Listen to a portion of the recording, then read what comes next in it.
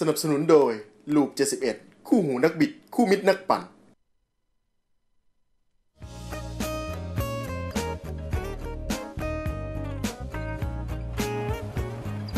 ครับผมเข้าสู่ช่วงที่ 2 ของรายการ Speed Rider นะครับ ทางช่อง True Vision 691 ครับ อยู่กับพวกเรา 3 คนนะฮะ ในเบรกนี้นะครับก็ยังคงต้องบอกว่าเปิดรับสายนะครับ อ่าแล้วก็เอสเเข้ามาด้วยครับ ได้เลยนะครับ เป็นเบรกอะไรนะเป็นเบรกที่ที่สอง เบรกที่2ที่ครับที่เปิดรับนะ อ่า โอเค มาขอขอบคุณผู้สนับสนุนใจดีนะครับโชคดีๆเหนือคำว่าหนึบโชคอัพไวเอสเนี่ยสารรายเดือน Fast Bike Thailand คิดถึงอะไรแต่งคิดถึง X Speed โซ่บิ๊กไบค์คุณภาพมาตรฐานต้อง DAD และลูกจิตเบคู่หูนักบิดคู่มินนักปั่น อะในเบรกนี้ก็ต้องบอกว่าวันนี้ก็คุณผู้ชมที่มีปัญหาเรื่องรถจักรยานยนต์นะครับ โทรเข้ามาได้ที่ 02 530 9496ถึง98 ครับ SMS 482 7772 พิมพ์ 4เป็นวักตามด้วยคำถามได้เลยนะครับอะอ่าเดี๋ยวให้ขอบคุณรถเขาก่อนยืมรถเข้ามา อะวันนี้ก็ต้องขอขอบคุณนะครับ ทางดูคติไทยแลนด์อืม นะครับ ที่ให้ผมไป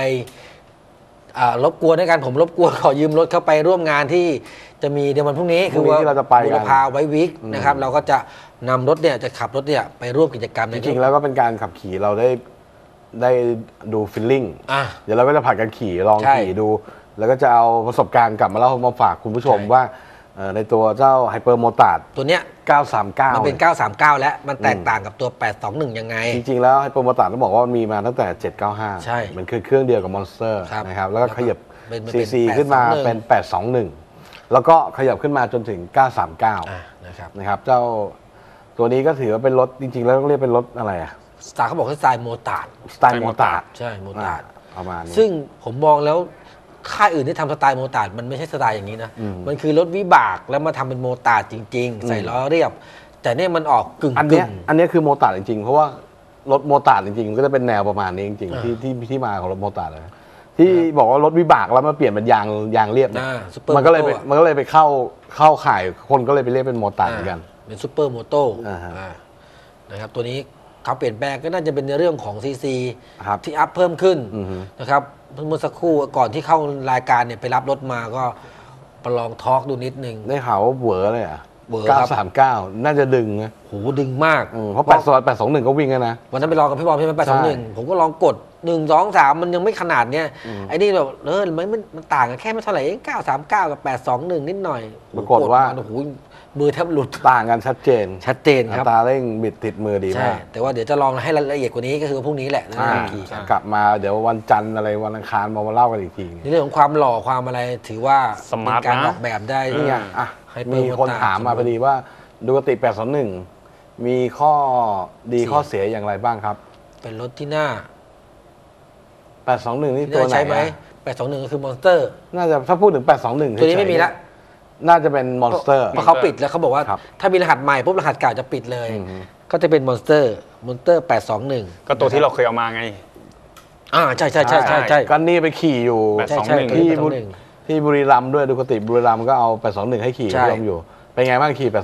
821เขาบอกว่าจะให้ขับขี่ไปท่องเที่ยวได้ครับขับขี่ท่องเที่ยวได้ แต่มันจะเหนื่อยในเรื่องของความเร็วที่มันเกิน 140 ไปแล้วเนี่ย เพราะว่าเป็นรถ naked มันไม่มีอะไรที่จะมาคอย ปะทะดักลมกับตัวอืมพอโดนตัวเต็มๆเนี่ยมันดึงพอมันดึงในความจริเร็วงๆขแล้วนาดเนี้ยช่วยได้นิดหนึ่งก็จะมี shield หน้ามันก็ ช่วงพวก Monster ก็จะใส่เป็น shield shield เล็กอ่าๆช่วยได้ในระดับหนึ่ง แต่ว่าไม่ได้ช่วยได้มาก คือคือได้ความเร็วสูงๆแล้วแล้วหมอบช่วยเนี่ย ช่วยได้นะอ่าต้องต้องหมอบช่วยหมอบไง ช่วยหมอบเพราะแต่เพราะที่คิวบอกว่า คิวมันสั้น จะให้นั่งต้องแบบก้มลงไปถ้านั่งธรรมดาจะให้เนี่ทัยวริ่งกับเพื่อนเนี่ย โอ้ต้านลมเหนื่อย คุณลงมานี่ ขาแก้อะไรเรียกว่ากล้ามแขนคุณนี่ขึ้นเป็นมัดมัดๆเลยอาจจะเรียกว่าอาร์มปั๊มด้วยซ้ำไป มันต้านลมนะใช่ มันเหนื่ต้าอยลม แต่ถามว่าความคล่องตัวด้วยวิวเบสฐานล้อที่มันสั้นเนี่ย มันคล่อง มันพลิกรถได้เร็ว เครื่องยนต์สามารถตอบสนองได้อย่างฉับพลัน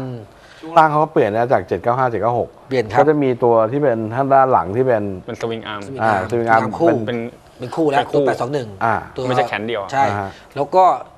อีกอีกเรื่องหนึ่งที่ดีสำหรับเครื่องยนต์ก็คือเป็นเครื่องระบายความร้อนด้วยน้ำแล้วมีหม้อน้ำอ่าสำหรับ 821 หมดกังวลปัญหาเรื่องเดินทางไกลแล้วบอกโอ้โหเครื่องมันร้อนเครื่องมันฮีท หรือว่าขี่ในเมืองรถติดแน่ๆกลัวร้อน อ่าใช่ตอนนี้ จบเลย821 ตอบโจทย์821คหม้อรับน้ำเนี่ยให้หม้อน้ำมาเลย ยิ่งพี่ชอบเพราะว่ามันมันซีซีมันขยับขึ้นมา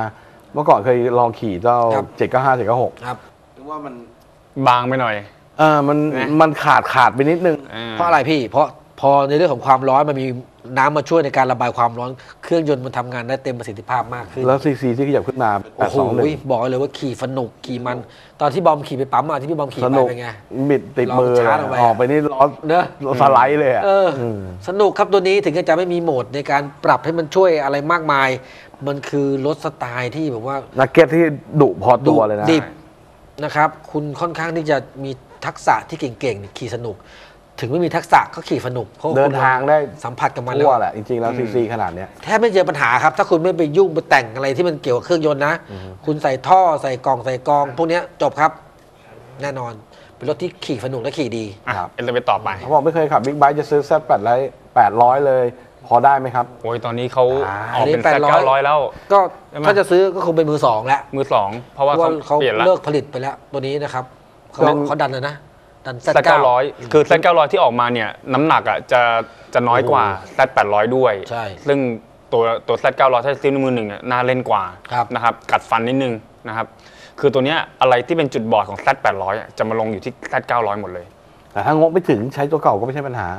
จ้าสัก800แต่เป็นมือก็ได้ สองนะ เป็นมือสอง แต่ว่าไม่ต้องไปตื่นเต้นว่าโอ้รถต้องแปดร้อยอารซีมณ์ซีไม่เคยขี่เลยจะขี่ได้ไหมผมจับรถบิ๊กไบค์ครั้งแรกผมจับพันร้อยเลยอ่าทุกอย่างมันอยู่ที่ข้อมือเรา ใช่ไหม เพราะรถมันไม่ได้ไปได้เอง นี่ถ้าเราไม่เราค่อยๆบิดมันก็มันก็เหมือนรถธรรมดา อย่างที่เขาบอกอยู่ครับรถมันจอค่อดยๆเปิดคันเร่งอะ มันยังไม่แรง ไม่แรงแล้วแล้วก็ขี่ก็เหมือนกัน ใช่ ถ้าเราไม่เปิดคันเร่งเนี่ยมันก็ไปตามเกียร์วิ่งไปจนคุ้นชินกับรถ ครับแต่นั้นหมายถึงว่าต้องมีทักษะในการขับขี่รถมาก่อนนะ อะ ไม่จำเป็นว่าต้องเป็นรถใหญ่ขี่รถเล็กก็ได้ ขอให้ขี่รถเป็นอะ ขี่รถเป็นอะเออมันจะมีเรื่องของการทรงตัวทีนี้ใช่ มันจะเพิ่มเติมขึ้นมาในการขี่บิ๊กไบค์ก็คือรถมีน้ำหนักมากขึ้นนะครับ เ e อร์ฟอร์แมนซ์ของรถเยอะขึ้น ครับทั้งนี้เราคุมคันเร่งอยู่เนี่ยเรายังไม่เขาเรียกไม่ห้าวไม่ประมาท อ่า ไม่เปิดคันเร่งไม่ลากรอบ มันก็คือรถธรรมดา ใช่มีเรื่องของน้ำหนักตัวที่เพิ่มขึ้นมาเท่านั้นเองนั่นแหละ ในการที่จะเราจะ balance ในการที่เราจะเอ่อควบคุมรถนะครับ แค่นั้นเอง ที่ดีที่สุดก็เดี๋ยวนี้ก็มีการเปิดการเรียนการสอนทั่วไปเยอะแยะไปหมดอืมีทุกค่าย ทุกค่ายเลยใช่ไหมอยากฮะเรียนให้เป็นอยากเอ่ออยากขี่ขี่ให้ได้ดีหรืกอว่าขี่นี้เป็นอ่า ขี่ได้ขี่เป็นมันไม่เหมือนกันนะใช่ ขี่ได้ใครก็ขี่ได้ ใช่แต่คนที่ขี่เป็นต้องมีทักษะต้องรู้นิดนึงว่าการขับขี่ควบคุมรถ ใช่การเข้าโค้งทำยังไง ไม่ต้องถึงขนาดว่าเข้าโค้งนี่ในที่นี้ไม่ไม่ได้ขอหมายความว่าต้องเช็ดเข่าต้องเข่าเช็ดพื้นนะ คือไม่จำเป็นเสมอไปใช้แล้วเขาใช้ในการแข่งขันครับ รถสปอร์ตแล้วก็ใช้ในการแข่งขัน ถ้าจะบอกว่าโอ้โหเข้าโค้งต้องเข่าเช็ดพื้นไม่ไม่ใช่เถียงใจขาดไม่จริง ทุกวันนี้ก็ยังไม่เคยเช็ดยกเว้นล้ม แล้วก็เรื่องฝากเรื่องแบบว่า ดื่มอะไรอย่างเงี้ยเพราะว่าอ่าการดื่มทำให้สมรรถภาพในการขับขี่ลดน้อยลงไปแน่นอนเขาผิเวดลากฎหมายด้วยขี่ไปถือไปมันจะทำให้หกไม่ใช่ ไม่ใช่ ไม่ใช่นะไม่ไม่ใช่ มันไอ้นี่ไปกันโอ้ใหญ่โหอันนี้เราไปก็กันใหญ่บอกว่าแล้วผิดกฎหมาย ผิดกฎหมายนะคไม่รับอยากจะบอกนนี้ไว้ อยากจะบอกว่าในเรื่องของน้ำหนักเนี่ยมันก็มีผลดีครับ ผลดีในเรื่องของการเลี้ยงบาลานซ์รถเนี่ย มันจะดีกว่ารถที่มันเบา เวลาขี่รถเราเคลื่อนตัวไปแล้วอะใช่รถมันจะนิ่งรถมันจะนิ่งกว่า เวลาเข้าโค้งมันจะสมูทกว่า ความเร็วสูงๆรถก็จะนิ่งใช่เพราะน้ำหนักของรถเนี่ยเรานช่วยไม่ต้องไปช่วยดึงรถที่มันแบบ รถเบาๆเราต้องคอยเอาเรียกว่าต้องคอยพพยุงมันกลับมา แต่ให้รถที่มันมีน้ำหนักที่มันเยอะแล้วเนี่ย แล้วเครื่องยนต์มันเรียกว่ามัน support ด้วยกันอะ800ครับสี่สูบ800กับเครื่องน้ำหนักขนาด 210 กว่ากิโลหนักนะ มันหนักจริงแต่ว่าด้วยความหนักอะมันก็มีจุดดีขึ้นมาไงในเรื่องของ balance ในการเลี้ยวโค้งนี่ไงก็พอขี่ไปตั้งลำได้มันก็โอเคแล้วล่ะใช่อะนะไปดู n อ s ต่อไปดีกว่าเขาถามโอ้โหถึง Buell ฮะบูเอลนี่ก็ต้องบอกว่าปิดไปเป็แล้นวยังสนใจไหมครับโรงงานโรงงานปิมัดนไปแล้วนี่ใช่จไหมริงๆแล้วมันก็คือ ฮาร์เล Harley ย์เดวิสันใช่นี่แหละนะครับเป็นรถเครื่องยนต์ฮาร์เลย์เดวิสันใช่แต่ว่ารูปทรงรถเนี่ยดัดแปลงเอ่อทำให้มันพดูยาสยามปอร์ตที่จะให้เป็นสปอร์ตให้พยายามให้เป็นสปอร์ตจริงๆ แล้วมันยังเป็นกึ่งๆ ระหว่างสปอร์ตคุยเซอร์มันยังไม่เป็นสปอร์ตจ๋าซะทีเดียวไม่ได้มีแฟเร่ง มันจะเป็นสปอร์ตเหมือนเป็นนักเก็ตอะบูเอลอะนะแล้วเป็นรถที่แบบขี่ยากมาก เครื่องโหดพอเครื่อง torque มันขี่ยากก็มาก V-twin ใช่เครื่องฮาร์เลย์ใช่แล้วก็เป็นสายพานสายพานะครับแล้วปัญหาคือถามว่าชอบไหมชอบ นะครับ แต่ว่าปัญหาคือมันยังไม่สมบูรณ์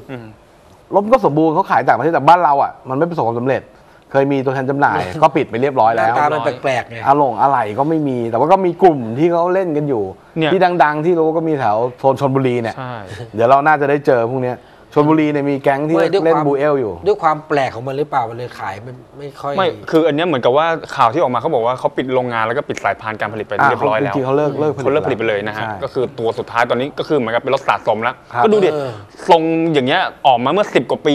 เกือบ20 ปีที่แล้วอะเป็นใช่ปะแท่งทรงแท่งเนี่ยเบาะเดียวเดียวอะไร ดู frame เนี่ยคุณดู frame เนี่ย frame ก็แบบว่าหนาตึมเงี้ย frame มันเข้าโค้งยากมากคล้ายๆเดลต้าบ็อกเลยแต่จะบอกว่ารถดิบแรงมากแรงมากอ๋อนะใช่คันนี้ธรรมธนะแรงมากเน้นนะความแรงมาก่อน แต่ขอโทษนะครับสายพานนะฮะโหแรนี่งนะครับปล่อยคลัสทีนี่ล้อฟรีเป็นเรื่องเล่นโอ้นะโหกระชากกระชากมากออกนี่ฟรีสามเกียร์ออกไปเลยสไลด์ดิ้นอยู่นั่นน่ะฟรีจริงๆเพราะตัวนี้ไม่มีระบบอะไรเข้ามาช่วยเลยใช่ดิบดิบๆเลยเพราะมันดีจริงๆตัวนี้ใช่เห็นไหมจันจันดิสหน้าก็จะมีจับจากด้านในคาลิปเปอร์อ่าอัพไปดาวเอาเรียกคาลิปเปอร์กลับนะ ก็จริงๆแล้วถามว่าชอบ ถ้าชอบก็ มันยังมีอยู่ให้พี่ซื้อถ้ามันมาละแล้วมันหายากนะเออส่วนใหญ่เขาถ้ามันยังมีให้พี่หาคือซื้อได้ ถามอันหนึงคือซื้อมาเสร็จแล้วจะจะไปซ่อมที่ไหน แล้วจะไปเอาอะไรที่ไหน อะไรมารถเขาไม่ได้ไม่ดี รถรุ่นไหดีนมารถเทียบ เจ๋งเป็นรถอเมริกา ถ้าชอบใจรักจริงๆก็เล่นได้หายากเหนื่อยหน่อยแล้วกันเออ ในการเซอร์วิสในการซ่อมแล้วกันมันไม่มีเลยไม่ได้รถเอามาใช้อะรถมาโชจะว์ไปหาแล้วตัมาดจขออดงนี่เขาบอกชอบอันเมื่อกี้ใช่ไหมชอบเสียงและท้องแน่นอนเดียวกันอันเดียวกันเสียงนี่แบบสันเคยเจอคันที่ใส่ท่อแต่งนะ อ่าฮะ Buell เนี่ยเมื่อก่อนนี่ไม่ต้องใครพี่โบ๊ทเลยขี่อยู่เสียงนี่จอดเฉยๆติดเครื่องนี่สั่นทั้งบ้านเลยนึกว่าเฮลิคอปเตอร์มามันปุ๊บปั๊บปุ๊บปั๊บปุ๊บปั๊บแบบอื้อหือเสียงสนั่นหวั่นไหวเลยนะอ่านี่อะมาอะดูเดี๋ยวเรื่องต่อไปเรื่องของสรีระครับ ผมสูง 171 หนัก 50 กว่า จะขี่เวอร์ซิต650 2015 เหมาะ เหมาะปะเหมาะเปล่า เหมาะเปล่าอะเหมาะเปล่าปะเหมาะปะเหมาะใช้สับเปล่าวัยเหรุ่นมาะไหมครับ171 สบาย ผมสูง 168 ผมจะขี่ล่อนจะกลายเป็นรถสปอร์ตเลย ไม่เหลือแล้วครับ ถ้าขี่เป็นนี่สนุกเลยฮะอืมรถจะเบียดได้อยู่แล้วเหลือเฟือครับเหลือเฟือ นะฮะหรือเฟือเวอร์ซิตแล้วก็รถไม่ได้มีน้ำหนักตัวอะไรมากมาย โอ้โหใช่ ขี่สนุกด้วยดิขี่สนุกซีซีก็กำลังดีสองสูบจัดได้เลยครับ นี่อืมไม่ใช่ปัญหา ผู้หญิงนี่ยังขี่กันเยอะแยะเลยขาไม่ถึงอะ ใช่ไม่ต้องไปกลัวสูง171 เนี่ยอย่างน้องอะไรนะ สบายๆ น้องเน็ตไอดอลที่เพิ่งมา อ่า คุณหญิงคุณหญิงหญิงเนี่ยหญิงใช่ไหม เขาก็เริ่มต้นจากขี่เวอร์ซิตนะ F Motorrad เนี่ยใช่แต่ก่อนเขาเนี่ยขี่เวอร์ซิตก่อนที่เขาจะไปทำงานที่ BMW นะถ้าผู้หญิงมารายการแล้วเพื่อนจำได้ทุกคนแหละจำได้น้องปูเน่ปูเน่จำได้หมดเลยจำได้แต่ถ้าผู้ชายถามเพื่อนจำไม่ได้ ชื่ออะไรวะจำไม่ได้ เดี๋ยวผมมีอะผมมีผมมี content ใหม่ผู้หญิงล้วนๆเลยอืออืมจัดพี่บอมโดยตรงเลยนะขี่ได้ครับสบายครับร้อยเจ็ดสิบเอ็ดเนียนเป็นรถที่ๆน่าไม่ต้องใช้ไปคันกลัวมันเลยนะครับกับไอ้เรื่องความสูงรถบางคนนี่ ขาไม่ถึงสองข้างยังขย่งยังขี่คนชอบอะ ไม่ใช่แล้วร้อยเจ็ดสิบเอ็ดเนี่ย เหยียบเขย่งถึง ถึงครับไม่ใช่ก็ไม่ถึต้องไม่ต้องกลัวไม่ถึงเขย่งเหยียบได้สองฝั่งเลย ผมร้อยหกสิบแปดยังถึงเลยแต่มันอ่าแต่มันแค่เขาเรียกว่าสุดทีนตัวก็นี้สุก็ดทีนเขย่งนะเออได้ได้ ก็ไปได้แล้วไม่ใช่ปัญหา ขอบคุณนะครับสำหรับเอลเมนเนาะก็คืออ่าเมื่อกี้ก็มีทักทายมาด้วยว่า ครับสวัสดีสวัสดี พี่ๆทั้งสามคนอ่าข้ามไปก็สวัสดีย้อนหลังนะครัครับ บ ก็ยังสามารถส่งมาทักทายเราได้ได้หรือว่าโทรเข้ามาส่งคุยโทรได้เข้ามาก็ได้นะ0 2 5 3 0 9 4 9 6ถึง98นะคครัรับ บ ก่อนแนะนำรถสปอร์ตหน่อยพี่ ที่มันมันๆติดมือติดมือเรื่องหน่อยเรื่องครับ ติดมือนี่หมายความว่าเรื่องรถมีปัญหา ซื้องอ ไอ้คำว่าติดมือแบบว่าซื้อมาแล้วขายไม่ได้ใช่ไหมติดคือมือ ติดมือ จริงๆติดอะมือขายไม่ออกอย่างเงี้ย ด้วยความที่แบบเป็นรถสปอร์ตเนี่ยมันก็ติดมือทุกรุ่นแหละ ถ้าแบบว่าหมดยิ่งเป็นตัวโหดๆนะ ถ้างงไม่มีปัญหาตอนนี้ Head to เลยไหมโอ้ยพี่ตู่เขาเล่นแรงไปอ้าวเหรอ เดี๋ยวคนจะขี่ได้ไม่นาน ทำไมอะจริงแล้วมัน โอ้โหเอาเฮดทูให้คนธรรมดาขี่ ก็เขาเดี๋ยวมันอาจจะมีสเขาอาจกิลจะมีไง สกิลก็ไม่ใช่ปัญหาอ่าใช่ป่ะอันนี้เราก็ติดเชื่อผมอันนี้เถอะ อันนี้คือแรงสุด เอางี้ดีกว่าณตอนนี้หนึ่นะงสี่เก้าแปดอะอืมเฮดทูหนึ่งล้านสี่แสนอืม เก้าหมื่นแปดพันบาท ผมก็คือ จำแม่นเลย นะฮะระบบเทอร์โบชาร์จ ผมซูเปอว่าร์ชาร์จ ผมว่าเล่นพวก เอ่ออาวันตัวใหม่หรือไปเล่น ZX10 R1 R1 M ก็ได้ ZX10 เอาเอาสุด WR อะ ZX10 RR ที่จะเข้าในบ้านเรา 30 คัน จาก ก็ 1,000 คันเนี่ยน่าเล่นสุดแล้วก็น่าตอสนใจ เพราะว่าล่าสุดนี้ผมเพิ่งเข้าไปดูในเว็บไซต์เอ่อ World Superbike วันนี้มา เขาเป็นรุ่นเอ่อเขาเรียกวันนี้test ที่เฮเรซที่สเปน เป็น private test รถของโจนาธานเลียสามารถทำเวลาดีกว่ารถ MotoGP อืมที่จะลงแข่งในฤดูกาลหน้า Moto2 Moto MotoGP เฮกเตอร์บาเบล่าอ๋อ นะครับ ก็คิดดูแล้วกันว่าทำเวลาดีกว่า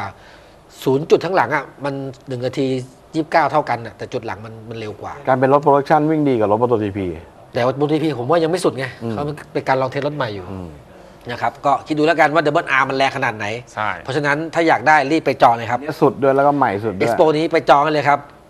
ถ้า ZX 10 Double R ถ้าลองลงมาก็อย่าอย่าลืม ถ้าเกิดเอาแบรนด์เจ๋งๆหน่อย ขี่รถยุโรปก็ยังมี